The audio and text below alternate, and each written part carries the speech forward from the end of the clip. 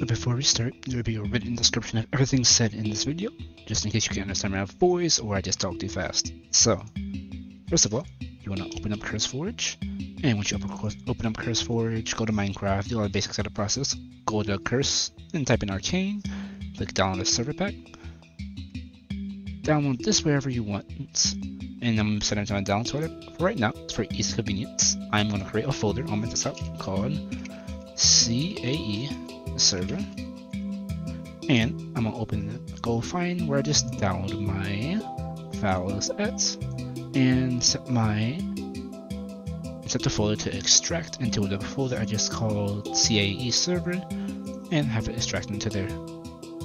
Now once this finishes extracting, I'll be right back with you. Just want to interject real quick. Uh, this might take a little bit, especially if you have a hard drive. If you have an SSD, it should take about what it appears to be a minute or two. So. Alright, so we're back. What you want to do now is you want to click on the links, and I have a link directly to either, so the first link will be a link directly to the website, but if you want to directly to the installer, you want to click the second link, Second link will bring you here, it will download it. You want to put this list anywhere, but if you actually want to be super sure, put it in your desktop folder called CNA Server. Once it's in there, click install. And make sure you click install server client and make sure it's set to the same exact CNA server. And let it do its thing. Now I know you saw it, so warning said this file's already here, you can ignore that it's not a big issue. So yeah, let's let this fully install it, and your server should be up. Well, after a little bit more steps. Ooh, when it's done finish when it's done finish, uh, when it's finished, you'll get this thing right here. It says successfully download Minecraft, press OK. Ignore that. Once now here what you want to do here is if you're running Linux, you'll do run.sh, but if you're running Linux, there's probably about other steps you have to do this in the first place. But if you're running Windows like I am, you have to click run.bat. It'll pull up the screen, it will go through a little bit of a starting process and give it like a little bit. You'll eventually have to go back out here and I'll give you additional further steps. Cool, as you can see right here, it says you need to agree to the EULA, so press any key, go to EULA.txt, open up whatever um, notepad editor you have, and make sure you set this to tree, T-R-U-E in all caps or true, no caps, no spaces and everything. Press enter, then after that, your server should be running fine next when you press run that bat. Now, an important note is this Java arguments folder. There's more stuff you can add in here for right now, but what I would recommend is removing this little comment right here, the little hashtag or pound symbol, if you want to be like that. Remove it, make sure there's no spaces there, and I would change this to whatever your PC allows it, but I do a minimum of 8, it shouldn't be higher than 10 if you're running a server and you don't have 8 gigabytes, you might have to go 6. 6 might be able to work. That should be enough for both your OS, but if not, then you're kind of out of luck. I say a minimum 6, maximum 10. 8 is like the sweet spot.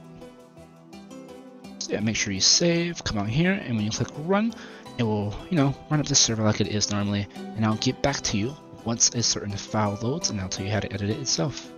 So you can make more, you know, changes to your world.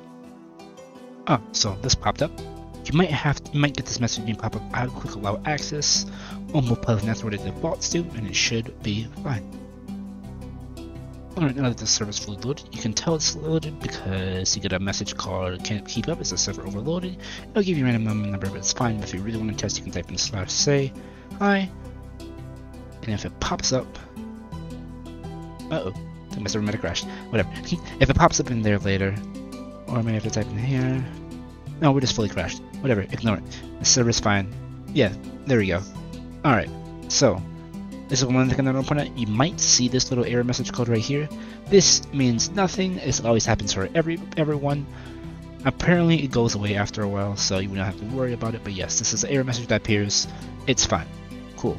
So, to stop the server, you just use slash stop. I think it typed in. Yep, there we go. Slash stop. It should be fine. And once it's fully stopped, you'll get like a message saying you can close terminal. Cool. Now, one of the re reason I wanted to come here is so you can go to the server properties file, open up some of your text and choice, and now you can edit whatever you want. Um, make sure always allow allow flight set to false, You can set the difficulty here, you can set the hard mode, survival, all that stuff in here will be in this file right here in case you need it. Cool. Now I'm going to switch over to demonstrating what you need to do if you want to install the developer, started the dev version of this pack. So for starters, let's create a server, select a folder called CNE server. It's not new, you can name it whatever, but this is the way to keep organized. You can put it on your desktop or anywhere else you need it to be. It's just this so it's easily accessible. Next, go to the third link, or the GitHub link, open it up, and it will take you to a page that looks like this once it loads. Cool. Once you're here, don't worry about anything else that says here. It should be fine. Hold up. Yeah, so this is the right version. Just click the link. It should take you to the newest updated version. Some stuff might look different by the time you're here, but all that matters is you click the link. And if you go here, you can do download the zip. You can save this whatever you want in your folder. I'm going to save this to my downloads folder. And... Alright, let me not save it to my downloads folder. Let's just save it to my desktop. Sorry about that. Once it's on my desktop, I can open it. Sorry, I don't open it. What you want to do is, I personally use CurseForge for this because I know it works the best. But you might have to use, so you might be able to use another launcher. But I am 100% know that CurseForge works. So you might have to download it, set up a CurseForge account and all that. That's fine. Just know if you try this with another launcher, might not work. But I know it works with CurseForge. As CurseForge load, loads, I sorry, what you need to do is you need to click create custom profile, import previously made profile, find wherever you put that profile at on your desktop or wherever you downloaded it. So know it's called create arcane engineering.dev and let it fully extract. And once it's fully extracted, I'll be right back. Now that's fully extracted, I want you to open up the mod folder and copy all the contents inside of here to the CNA, CNA, uh, CA, CAE server that we already made previously and just paste it in there or you can cut it depending on what you want to do. If you want to save space or you just want to delete the other folder, completely up to you. Yes, once this is all finished, I want you to click either the first link if you want to be taken to the direct website, or the second link if you want to get a direct installer. If you click the second link, it will take you to here. Sorry, take you to the CurseForge download page. I am going to set it to once again my desktop. It's for convenience because I know I have nothing here. But once, ooh, sorry, I wouldn't suggest um, download that to your desktop. Once you click the second link, I suggest um, putting it in your CNA, CNA, uh, CANE server, putting it in there. And once it's in here, you can click it. Make sure you install server, make sure it's set to the same place, the CANE server. And once it's there, let it finish its full process.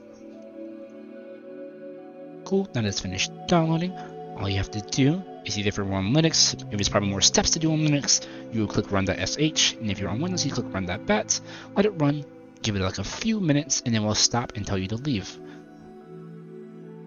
There you go, it says you have failed to read the EULA, so you have to go to do is go to the EULA, go, remove the false, don't add any extra spaces, and type capital T, R, U, E, save it, no, capital true, just make sure everything is capital, you can exit out of here, and then you can click run that bat or run the SH again to actually get the service started. And once this gets fully downloaded and fully prepared, I'll be back with a little bit more extra information.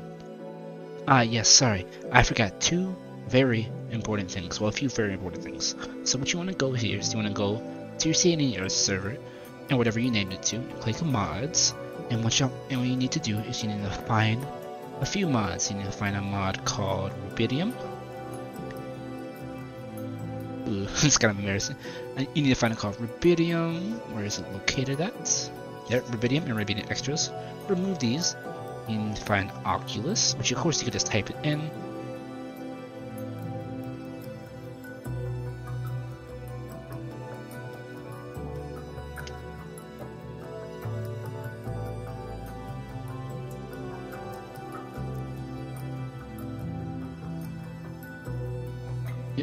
Oculus Flywheel, Oculus, and Oculus, remove both of these. And you also need to remove a third mod called Legendary Tooltips. Now this is for the current version of the dev version. There might be more um, client-side mods you might have to remove for later. If so, I will update it in a text document and I'll make a pinned comment about all the mods that you need to remove. Cool. Cool, so now you have all those mods removed. If you boot up the server now, there should be no problems.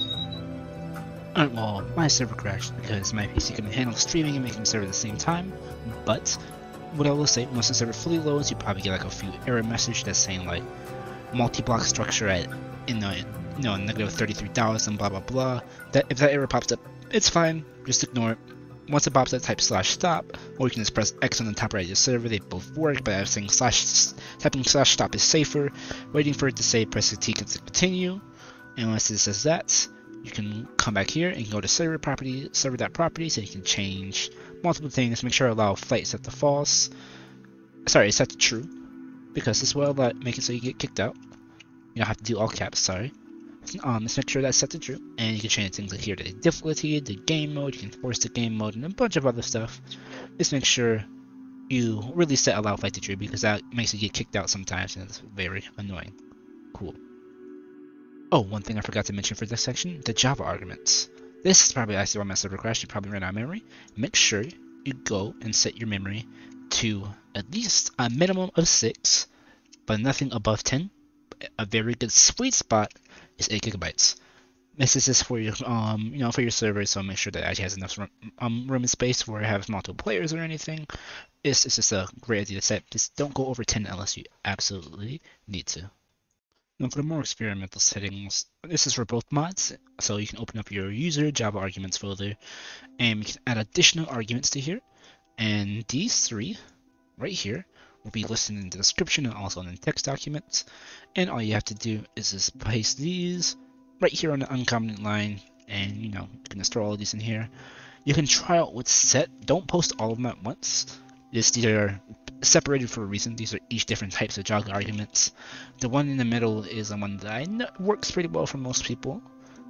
Uh, the one in the middle, sorry, the top one works well for most people. The one in the middle is a bit outdated, but worked best for me. And the one right here, this is another another person in the service suggested me this one, so you can try this one too. In case your server is having performance issues, let's try these out.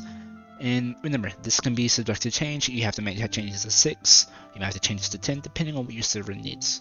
But everything else right here is just dependent on trying to make your server run better. But yeah, that should be everything. If there's more, I'll put in a pinned comment. And yeah, put it in a pinned comment and I'll edit the text document. So yeah, thank you for watching. See ya. Have fun arcaning. Whatever.